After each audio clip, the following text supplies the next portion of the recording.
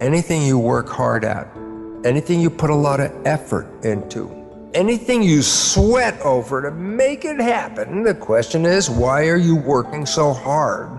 The answer is, your programs and your subconscious don't support that.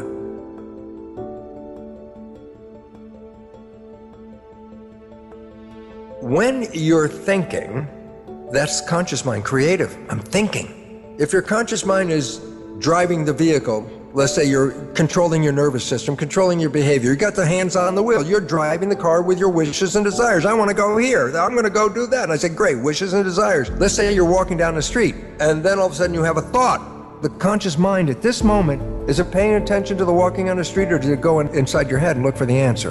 That's a question. The moment the conscious mind went ahead, it's not paying attention to what's going on on the outside, is it? When my conscious mind is in thought, my subconscious by default becomes autopilot. When I am thinking, my conscious mind is engaged in creative imagination. By definition, it's not paying attention. And whatever behavior I'm engaged with at that moment is now going to be run by what? Subconscious program, autopilot. When you're thinking, autopilot subconscious is in control. How much of the time are we thinking? The average person, 95% of the day has a thought going on, which means 95% of the behavior during that day is programmed and managed by the subconscious. Your life is not controlled by the conscious mind, which is wishes and desires. Okay? It's controlled by the subconscious, which has been programmed by observing other people. And then your life becomes uh, an expression of their behavior. The programming of your subconscious started in the last trimester of pregnancy and was intense from year zero, one, two, three, four, five, six, and by seven starts, the programming is less. So the first seven years are programming, okay? And you say, but how do I know what the programs are? 95% of your life comes from the subconscious. Point? Your life is a printout of your subconscious programming. So you don't need to go back in your life to find out who did what the who to create the life that you have. All you have to do is look at the life you have because it is an expression of your programs. The things that you like that come into your life easily are there because you have programs to encourage and support that. Anything you work hard at, anything you put a lot of effort into, anything you sweat over to make it happen, the question is, why are you working so hard? The answer is your programs and your subconscious don't support that. What if, and this is not a what, it's a can do, what happens if I change or rewrite my subconscious? What if you took all the negative behaviors that are interfering with your life and rewrote them with very positive behaviors, with wishes and desires that are the same as the conscious mind, so that either the conscious mind or the subconscious mind are both are operating from wishes and desires. Whether you're paying attention or not paying attention, you're still playing wishes and desires. And so, in other words, you can have a honeymoon life the rest of your life every day. The only reason you lost the honeymoon is because you went back and got caught up in playing the old tapes and sacrificing and sabotaging yourself without even you seeing it, and the honeymoon ends. If you had rewritten the subconscious program so that they conform and aligned with your wishes and desires, then it wouldn't make any difference if you're thinking or not thinking. Your behavior in both situations would always lead you to the full happiness of the honeymoon experience as a way of life every day of your life. We look at our lives. We have wishes and desires, conscious mind. We have subconscious program, as psychologists tell us, running 95% of the time, downloaded from other people, and sabotaging our lives. Now we can identify the programs by just looking at your life and saying, where's the part that you want to happen that's not working? And then test your subconscious for whether it supports those beliefs or doesn't support those beliefs. And if it doesn't support what you want, then you can rewrite it.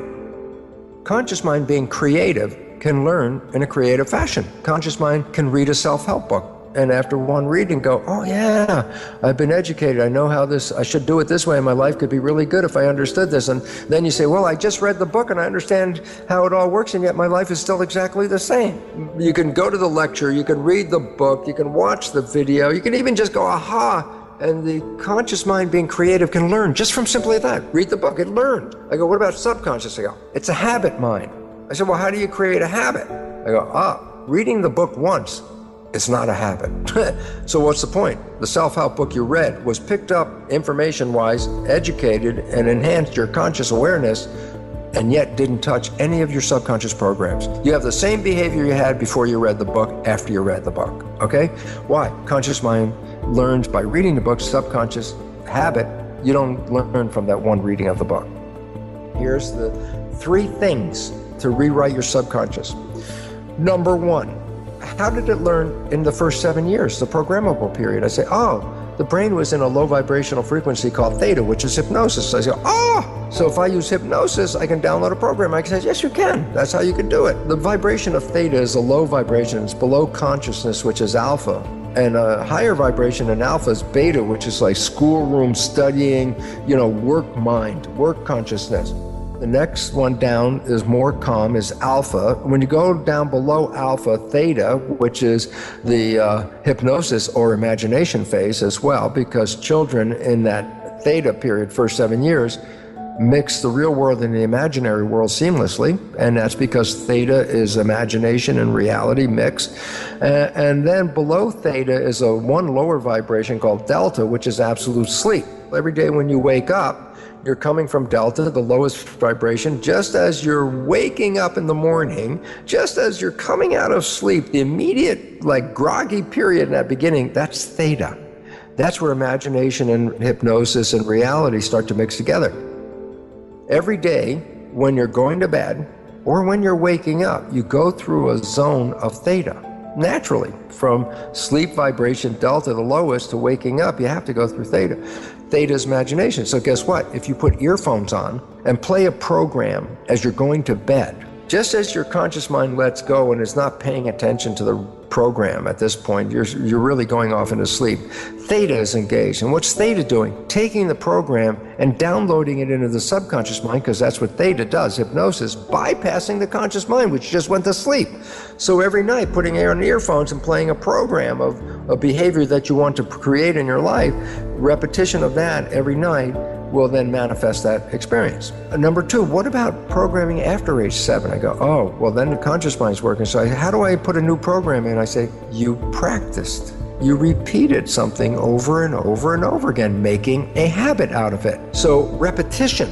So I say, oh, you find that your behaviors are not supporting you, then guess what? Generate a behavior that represents supporting you and repeat it just like a player on a sporting team go out and do the practice. Just repeat it and repeat it and repeat it. Even if it's not real at the time, it will become real as it becomes downloaded as a program. Your subconscious will take that program and then use it to manifest life from it. Uh, those are the two fundamental ways. Now, let me just add the last one, and this is really important because uh, you can find it on my website. There's a whole listing of belief change modifications. And these belief change uh, modalities all involve something called super learning. And what's relevant about them is these are practices where you can rewrite a subconscious belief in about somewhere between five and 10 minutes. A belief you may have had 40 years affect your life using some of these technologies. You can rewrite that belief, make a positive belief out of it in anywhere between five and 10 minutes. Yes, we've been programmed. The vast majority of the programs are negative and disempowering. So, yes, the vast majority of people on this planet are having that negative experience as well. So, the next most important thing now is to recognize well, if I'm not getting what I want, is it because the universe is not giving it to me? And the answer is almost inevitably no.